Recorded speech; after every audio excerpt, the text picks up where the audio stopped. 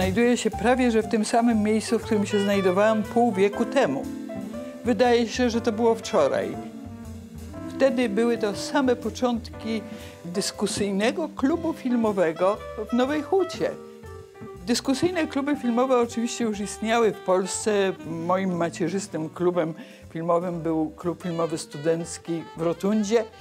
I tam dostaliśmy coś w rodzaju kaganków. Każdy dostał do ręki i idziemy na cały świat i tworzymy kluby filmowe.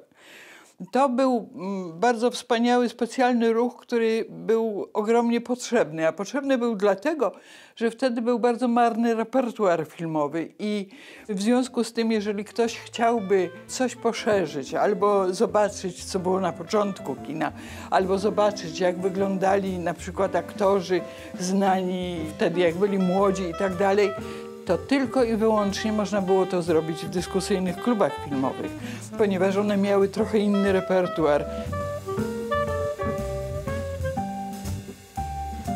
Na samym początku była dosyć taka przedziwna akcja, ponieważ ona obejmowała y, tak zwane domy robotnicze.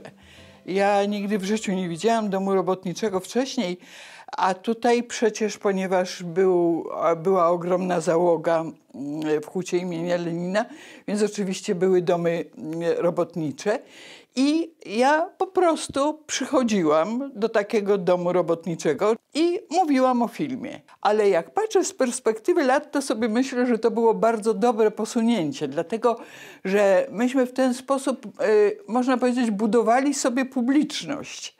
Bo jak potem, w kilka lat później, okazało się, że tworzymy już klub filmowy, że właśnie tutaj w kinie Sphinx powstanie klub filmowy, to nagle się okazało, że wielu z tych ludzi, u których byłam właśnie w tych hotelach robotniczych, przyszło i nagle się zainteresowało filmem.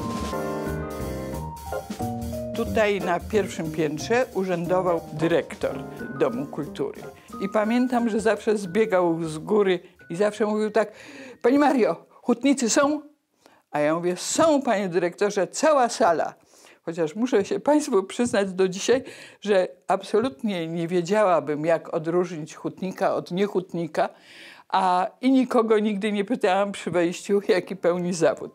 Ja wiedziałam, że pan dyrektor pójdzie pewnie teraz na górze i tam sobie odfajkuje, że wszystko się dobrze udało i mamy sam całą salę hutników. Była publiczność bardzo różna. Ja pamiętam, że nawet z Krakowa przyjeżdżali ludzie, ale to, co było najważniejsze i to, co było odmienne od y, normalnych projekcji filmowych, no to była ta możliwość właśnie najpierw prelekcji, potem dyskusji. Muszę przyznać, że zawsze byłam bardzo ciekawa tych dyskusji. Zresztą do dzisiaj jestem ciekawa. Do dzisiaj uważam, że to jest najciekawsza w ogóle część spotkania z publicznością kinową. Ja byłam do połowy lat 70., a dlaczego byłam tak krótko? Chociaż bardzo jakoś tak zbratałam się z moją publicznością. Ja e, całe życie mieszkałam w Krakowie i z okolic prawie że Bronowic jest dosyć daleko dojeżdżać do Huty. A kino Sphinx mieściło się na samym końcu ulicy, która wówczas się nazywała Marksa bodaj, teraz się nazywa Ludźmierska.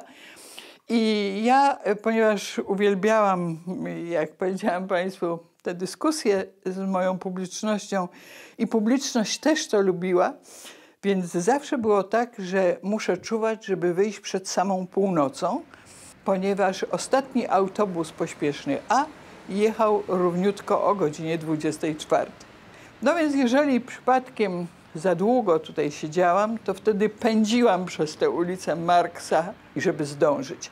Było to na tyle kłopotliwe, że w pewnym momencie rozstaliśmy się ze łzami w oczach i ja przekazałam e, klub filmowy mojemu koledze, bodaj Jurek Armata był następny po mnie, potem był Janusz Korosadowicz, no i wreszcie była dziewczyna, która mieszkała w Hucie, Alicja Zawadzka, i ona nadała temu klubowi nazwę Kropka, DKF Kropka. Czyli za moich czasów kropki nie było, ale jak się patrzy teraz wstecz, to się wydaje, że kropka była zawsze, jest i będzie na pewno zawsze.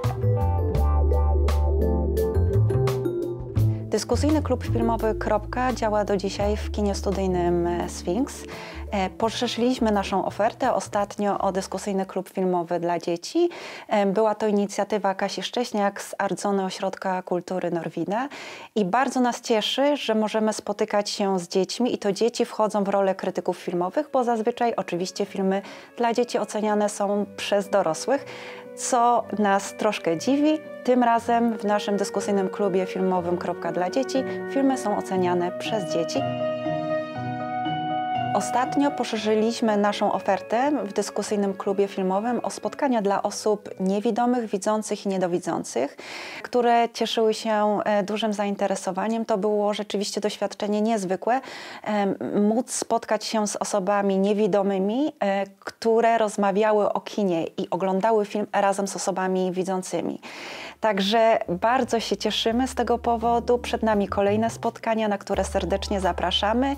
Mamy taką możliwość, e, że oglądamy film z osobami niewidomymi poprzez użycie aplikacji AudioMovie. Jest to aplikacja, która z kolei nie przeszkadza osobom widzącym w odbiorze filmu.